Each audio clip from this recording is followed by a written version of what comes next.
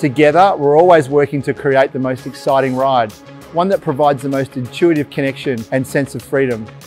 Which brings me to an exciting new board for 2021, the Fliteboard Ultra. Ultra is the world's smallest e-foil at 4 foot 2 and 54 litres for the most responsive e-foil experience possible. Ultra takes things to the next level.